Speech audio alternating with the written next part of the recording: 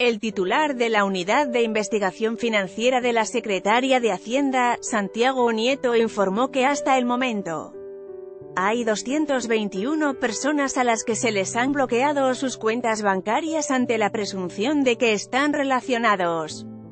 con el robo de hidrocarburos, y las cuentas ascienden a 853 mil millones de pesos. Al comparecer ante la tercera Comisión Permanente de la Cámara de Diputados para explicar la estrategia contra el robo de hidrocarburos, Nieto dijo que este martes interpondrá una denuncia ante la Fiscalía General de la República, en contra de 11 empresarios gasolineros que durante el 2016 y 2017, no adquirieron combustible a Pemex, por lo que ya fueron bloqueadas sus cuentas, al presumirse que están relacionadas con la compra ilegal de hidrocarburo. Nieto Castillo dijo que a través de Servicio de Administración Tributaria los bancos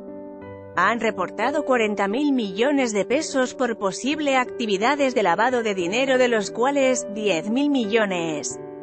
de pesos estarían relacionados con robo de hidrocarburos. En nueve casos hay una diferencia en los volúmenes de la gasolina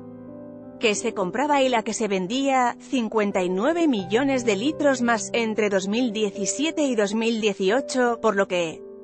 en breve también se dará vista a la Fiscalía General de la República. A través del análisis geográfico de los sujetos controles volumétricos y depósitos en efectivo, hemos encontrado gasolineros que reciben dinero en efectivo en lugares donde no tiene Estaciones de servicio. Aquí los temas más importantes de la conferencia matutina de AML o en todos los casos, dijo, los denunciados. Están bloqueados para determinar el origen de sus recursos, esto nos lleva a que hay 33 sujetos directamente bloqueados y denunciados, y 188 terceros relacionados que han sido bloqueados. Los montos bloqueados asciende a más de 5.000 millones de pesos y retiros a más de 1.633 millones, que en su conjunto implica recursos superiores a los recursos que en su conjunto recibieron todos los partidos políticos en las elecciones federales y locales del 2018. Dijo que el reporte de los bancos por montos bloqueados ascienden a 187 millones y 666 millones de pesos, lo que en su conjunto representa más de todo lo que fue asegurado en 2018 por la PGR en el combate a la delincuencia organizada. Se ha logrado la detención de 558 personas desde la implementación de la estrategia contra el robo de hidrocarburos aductos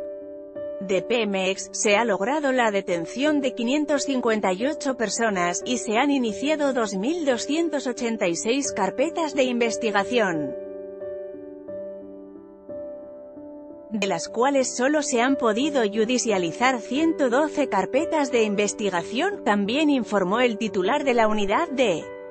Investigación Financiera de la Secretaría de Hacienda al comparecer ante la tercera comisión permanente de la Cámara de Diputados para explicar la estrategia contra el robo de hidrocarburos, Nieto Castillo dijo que en la conformación de las carpetas de investigación han participado 4.482 personas, además de que junto con la Fiscalía General de la República, han conformado un grupo especializado para seguir con las investigaciones de robo de hidrocarburos.